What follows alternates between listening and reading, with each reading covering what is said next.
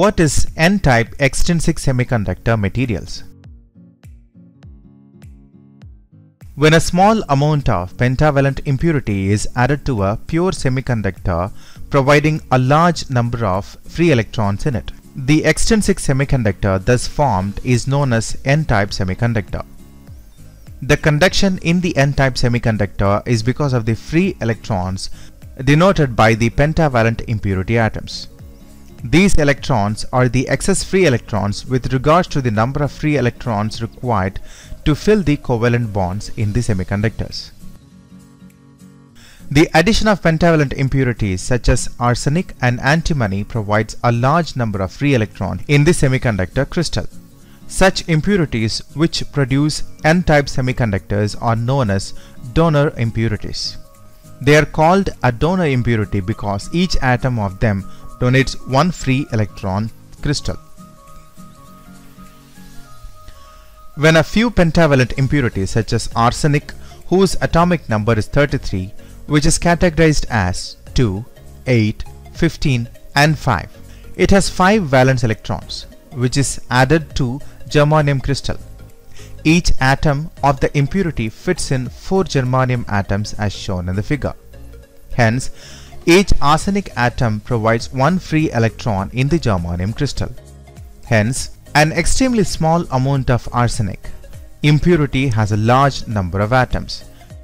It provides millions of free electrons for conduction. Energy diagram of N-type semiconductor. The energy diagram of the N-type semiconductor is shown here. A large number of free electrons are available in the conduction band because of the addition of the pentavalent impurity. These electrons are free electrons which do not fit in the covalent bonds of the crystal. However, a minute quantity of free electrons are added in the conduction band forming hole electron pairs. The following points are important in the N-type semiconductor. The addition of pentavalent impurity results in a large number of free electrons. When thermal energy at room temperature is imparted to the semiconductor, a hole electron pair is generated and as a result a minute quantity of free electrons are available.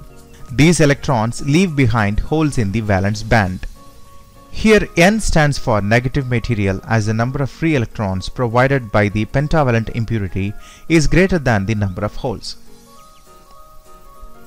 Now let's look into conduction through N-type semiconductor. In the N-type semiconductor, a large number of free electrons are available in the conduction band, which are donated by the impurity atoms. The figure shows the conduction process of an N-type semiconductor. When a potential difference is applied across this type of semiconductor, the free electrons are directed towards the positive terminals. It carries an electric current as the flow of the current through the crystal is constituted by free electrons which are carriers of negative charge.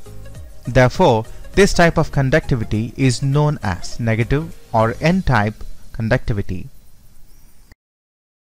The electron-hole pairs are formed at room temperature. These holes, which are available in small quantity in valence band also consist of a small amount of current. For practical purposes, this current is neglected.